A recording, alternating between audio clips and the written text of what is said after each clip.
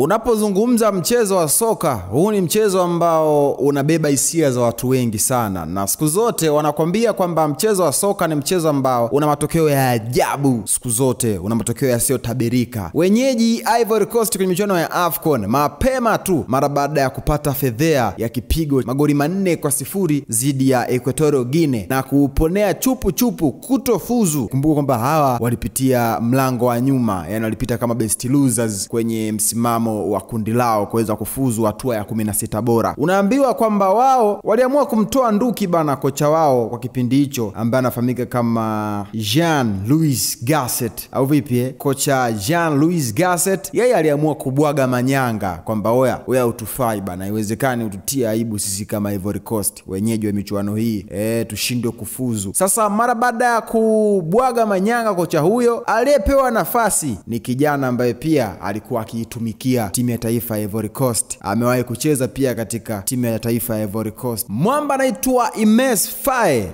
Yes, huyu ndio kocha ambaye alibeba majukumu ya kuifundisha timu ya taifa ya Ivory Coast mara baada ya kocha mkuu kuweza kufungashiwa vilago. Sasa unaambiwa e, matokeo ambayo amekuwa akiyapata huyu mwamba, watu wameanza kumfuatilia na kutaka kumjua huyu jamaa ni nani, eh, mbona kama hatumjui hivi. Lakini kama ni mtu wa mpira utajua tu kwamba huyu jamaa yeye ni kitambo sana kwenye game na ameshawahi kuitumikia timu ya taifa ya Ivory Coast, e, timu ya taifa na ni mchezaji ambaye kiuraia ki ni kwamba ana uraia wa nchi mbili ana uraia wa Ivory Coast lakini vile vile pia ana uraia wa Ufaransa kutokana na kwamba alizaliwa nchini Ufaransa. Umri wake ni miaka 40 tu kama nilivyosema, alizaliwa nchini Ufaransa. Timu ya taifa ya Ivory Coast ameitumikia toka mwaka 2003 mpaka mwaka 2012. Mara baada ya hapo e, kapita vilabu mbalimbali, mbali, lakini akaendelea katika karia yake ya ukocha e, kafundisha pale OGC Nice, ameifundisha kikosi cha under 19 yani vijana chini ya miaka 19 e,